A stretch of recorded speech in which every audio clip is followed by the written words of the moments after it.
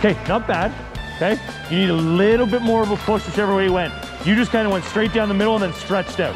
Okay, you can stretch that leg out and go down your belly if you want, but you need to go the same way that he's going a little bit too, right? Because otherwise your leg was right in the net there because you just backed right up into it. So it's fine. Back up with him though. A little more patience and go the way that he's skating so that way that leg can get in front of that post when you stretch it out like that. Yeah.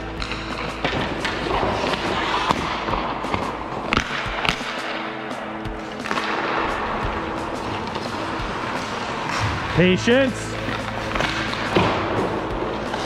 Not bad. I think he's backing in a little too much.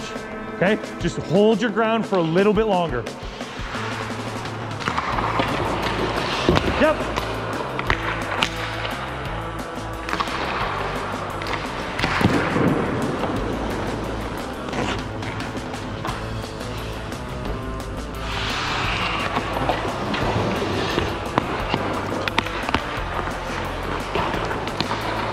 Four oh five.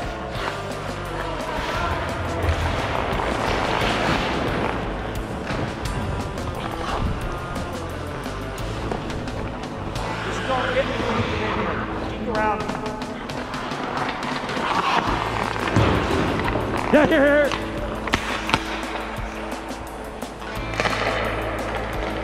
Patience. Better, better. Yeah, yeah, just gotta hold a little longer up there. Wait for him, wait for him.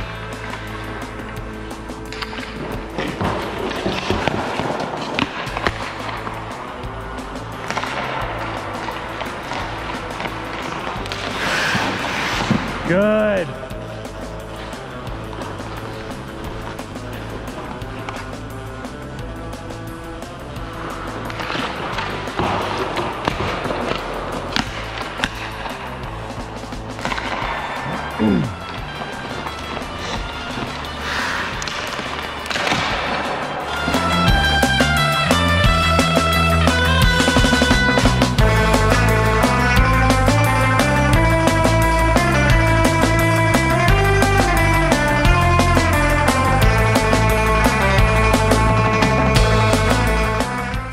Goaltending is not rocket science. You need to have a goaltending process.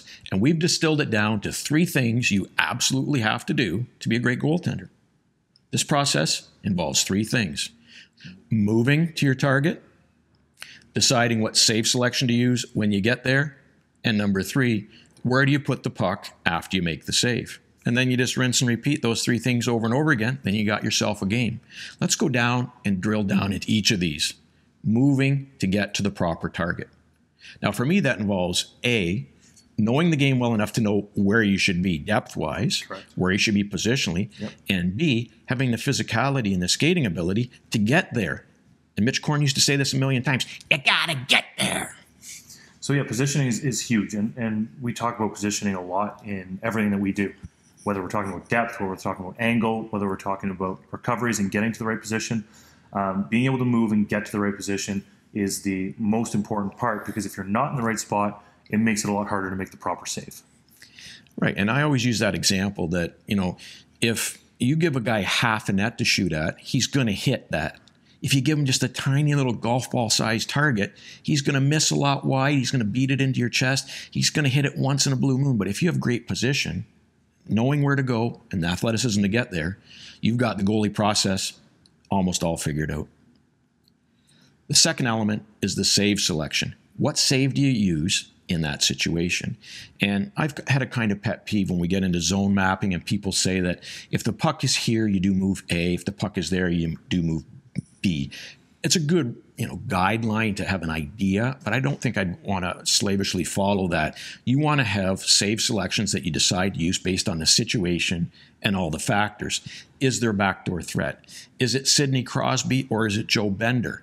Just because Joe Bender has the puck in a certain spot and Sidney Crosby has the puck in the same spot, your save selection could change based on who the personnel is and the time and space issues involved. So, what do you think about save selection? So the first part that we talked about, moving and being in the right position, is the physical aspect of it. The save selection is the mental aspect of it, and this is where your studying of the game, your studying of the shooters, your your knowledge of the game is going to come into effect here, and knowing which one, two, or three different types of saves will work in each different situation is what's going to going to make you make the right decision or not, right? And if you only have the knowledge of making one type of situation in any given circumstance, then you're just going to default to that every single time, and it may or may not be the right one for the situation.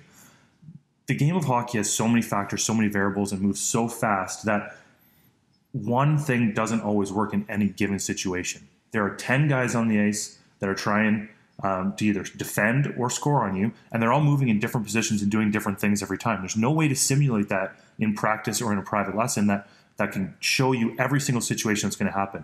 So we have to have different outcomes and different um, save selections and different things that we can do in every situation, depending on what each individual situation is happening. So the goalie process, the physical part is getting into the right position and being where you need to be.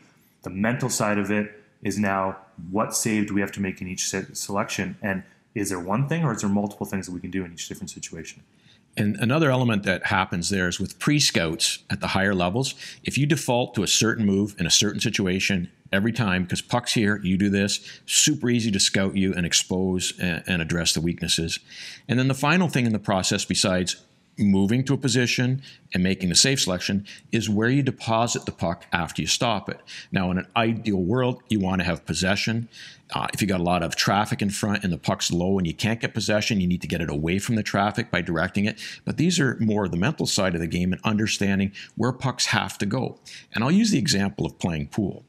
I played against my father in law at one time, and he would never leave me the ball anywhere where I had an easy shot. He was always taking care of where the ball would finish after he played his shot. And you have to have sort of a billiard mentality as a goaltender and be very smart with your leaves so you're not creating dirty diapers and problems along those ways. And with respect to rebound control, before I forget, we have a free goaltending app that you can go to the Apple iTunes store, and it's called Goalie Tracker app, and it's Future Pro based, and will help you track all your rebounds and manage where you put the puck after you make the save.